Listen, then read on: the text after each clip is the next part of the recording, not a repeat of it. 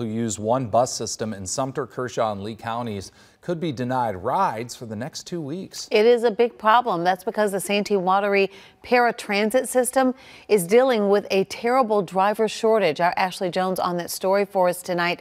So, Ashley, I know you spoke with the executive director today, causing a big issue for some people who really depend on this service. What's at the core of this issue for them? Well, Judy, the executive director, Lottie Jones, points to the pandemic. She says since the beginning of it, they've been seeing fewer drivers. On Tuesday, that shortage got so bad that the company had to deny rides for 22 people, some who are disabled. Well, what could I say? All I did was get off the bus and walk. 66 year old Charles Epps is one of many denied a ride on Friday following a shortage of bus drivers at the Santee Wateree Regional Transportation Authority. I got off the bus. Usually I catch another bus going south, and now it's no more bus.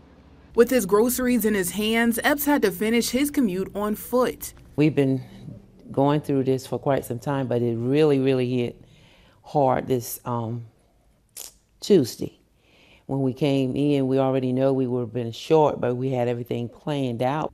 Executive Director Lottie Jones is referring to the shortage of drivers. She says on Tuesday, four drivers called out.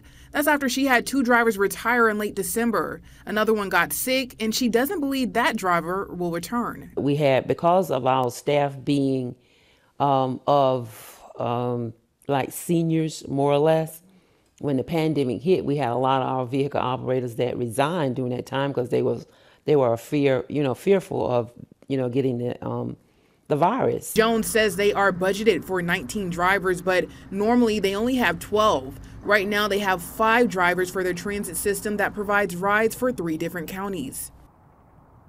And if you are interested in becoming a driver, Jones urges you to apply. Right now, they're in need of both dispatchers and drivers. There are 10 driver positions open. Judy? All right, Ashley, thank you very much. Jones says that there are three people who are currently training as drivers, but again, she emphasizes that this shortage will likely last at least the next two weeks.